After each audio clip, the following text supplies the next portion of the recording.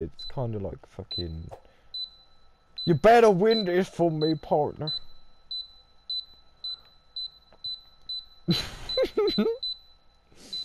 partner, just go the opposite way. Oh, you. You exploded towards me.